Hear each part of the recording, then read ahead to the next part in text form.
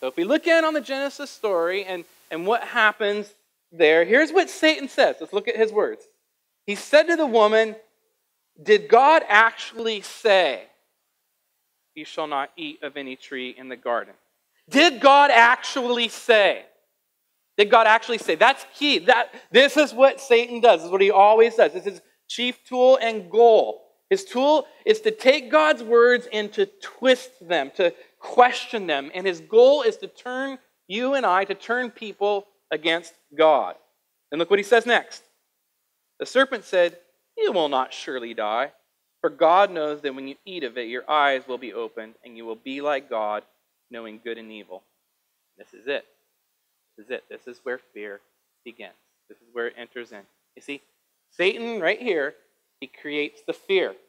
He instills a fear in the man and the woman that, that maybe God didn't tell them the truth. Maybe God is wrong in what he said. Maybe, most of all, maybe God is holding out on the man and the woman. Satan makes them afraid that their life is, is not good or good enough and could actually be better. Instills a fear here. Chief tool, God's word. Chief goal, to turn people against God. Chief tactic is deception. Here's what Jesus says about him in book of John, chapter 8, verse 8. The devil, he was a murderer from the beginning and has nothing to do with the truth because there is no truth in him.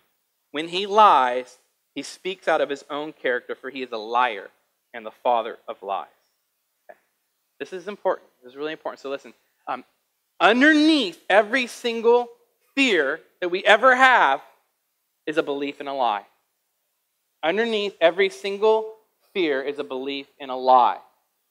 So if you are afraid of losing your job, the lie that you're believing is that if you do lose it, you won't be okay and that God won't take care of you.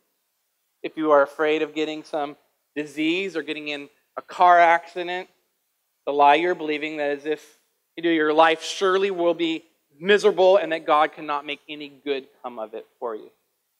If you are afraid of not finding a spouse or not being able to have children, then the lie you are believing is that you must have those things to be happy and that God is holding out on you. If you're afraid of deep relationship with others, of really opening up, the lie that you're believing is that if you do, um, it, it, it, won't work. You'll, you'll be rejected and God won't work through it. It won't be good for you. If you're afraid of not making it or not having enough money, the lie you're believing is that God does not know your needs and will not provide for you.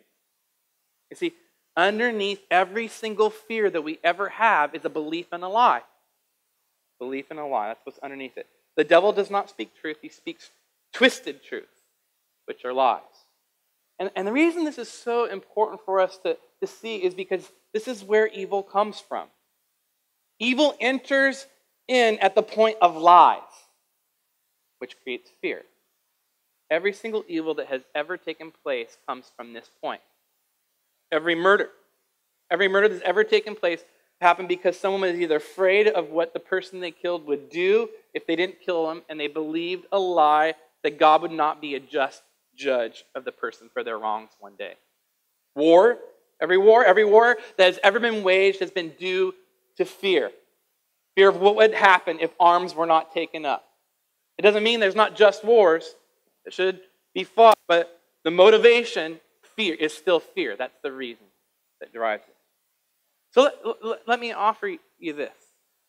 Um, both secular psychologists and Christian ones like Ed Welch say what we can do is face our fears, that that's what we need to do. Uh, so Welch asks the question this way. He says we, we should ask, what will really happen if our fears come true? What will really happen? Funny enough, here's how the um, secular publication Psychology Today phrases it.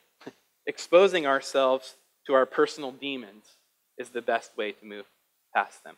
Didn't know they believed in demons. Um, there it is exposing yourself is the best way to move past it. So, so do that. Ask yourself what, what your fear is. Ask, what am I really afraid of? What is it? And then ask, what lie am I believing here? And, and then what will happen if this fear really does come true? And then begin to look for God's promise to you in that situation. That will help. That will help.